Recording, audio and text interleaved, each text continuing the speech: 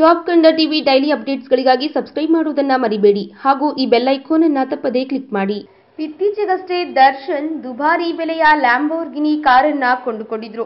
Farm house ತುಂಬಾ ಕುದುರೆಗಳನ್ನ ಸಾಕೊಂಡು ಹಸುಗಳ ಆರೈಕೆ ಮಾಡುತ್ತಾ ಪ್ರಾಣಿ ಪ್ರಿಯ ಅಂತಲೇ ಹೆಸರುವಾಸಿಯಾಗಿರುವ ಚಾಲೆಂಜಿಂಗ್ ಸ್ಟಾರ್ ದರ್ಶನ್ ಅವರಿಗೆ ಪ್ರಾಣಿಗಳ ಮೇಲೆ ಎಷ್ಟು ಪ್ರೀತಿ ಇದೆಯೋ ಅಷ್ಟೇ ಕ್ರೇಜ್ ಹೊಸ ಮಾಡೆಲ್ನ ಹೈಟೆಕ್ ಕಾರುಗಳ ಮೇಲೂ ಇದೆ.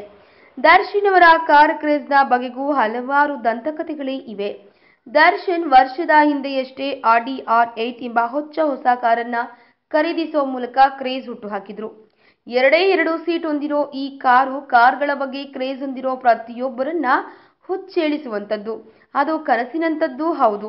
ಅನಂತರ ಲ್ಯಾಂಬೋರ್ಗಿನಿ ಪರ್ಚೇಸ್ ಮಾಡಿದ್ರಲ್ಲ, ದರ್ಶನ್ ಈ ಕಾರು ಕೊಂಡಿದ್ದು ಆ ಕಂಪನಿಗೆ ಅದ್ಭುತವಾದ ಪಬ್ಲಿಸಿಟಿ ನೀಡಿತು ಇನ್ನು ಇಂದು ಬೆಳಗ್ಗೆ ದರ್ಶನ್ ಅವರ ಮನೆ ಮುಂದೆ ಬಂದು ನಿಲ್ಲೋ ಕಾರಿನ ಹೆಸರು ಫೋರ್ಡ್ ಮಸ್ಟಂಗ್. ಇದರ ಶೋರೂಮಿನ ಬೆಲೆ ಎಪ್ಪತ್ತೈದು ಲಕ್ಷ ರೂಪಾಯಿ. ರೋಡಿಗಿಳಿಯೋ ಹೊತ್ತಿಗೆ ಇತರೆ ಖರ್ಚುಗಳೆಲ್ಲ ಸೇರಿದ್ರೆ ಬರೋಬ್ಬರಿ ಒಂದು ಕೋಟಿ ಆಗಬಹುದು. ಈ ಹಿಂದೆ ನೀಲಿ, ಬಿಳಿ, ಕೆಂಪು ಮತ್ತು ಕಪ್ಪು ಬಣ್ಣದ ಕಾರುಗಳನ್ನ ಖರೀದಿಸಿದ್ದ ಚಾಲೆಂಜಿಂಗ್ ಸ್ಟಾರ್ ಈ ಬಾರಿ ಹಳದಿ ಬಣ್ಣವನ್ನ ಆಯ್ಕೆ ಮಾಡಿಕೊಂಡಿದ್ದಾರೆ. ಇದೇ ಮಾಡೆಲ್ ಕಾರು ಖ್ಯಾತ ಕ್ರಿಕೆಟಿಗ ವರುಣ್ ನಾಯರ್ ಬಳಿಯೂ ಇದೆಯಂತೆ. ಆದರೆ ಅವರದ್ದು ಕೆಂಪು ಬಣ್ಣದ್ದು. ಅಂದಹಾಗೆ ದರ್ಶನ್ ಮತ್ತು ವಿಜಯಲಕ್ಷ್ಮಿ ಮದುವೆಯಾಗಿ ಹದಿನೈದು ವರ್ಷಗಳಾಗಿವೆ.